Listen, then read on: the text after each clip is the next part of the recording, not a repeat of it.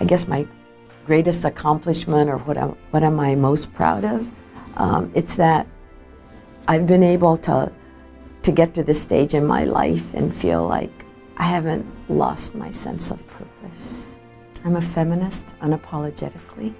I believe in the rights of women. I believe that we're, we have so much to offer and so much to give and so much to lead.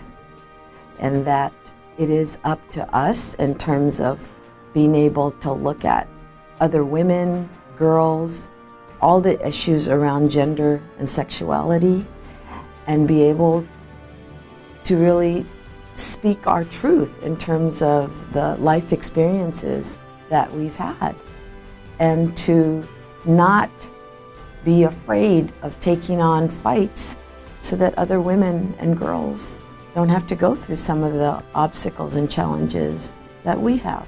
And so I take great pride in being a woman, a woman of color, a, a, an Asian American woman, a Japanese American woman, all of those things. But at my core, I take great pride in being a part of this world, in this life, in this form as a woman. I think my deepest sense of this life is that um, I am a part of a family, of a community, of a society, of a country that's not doing so well right now.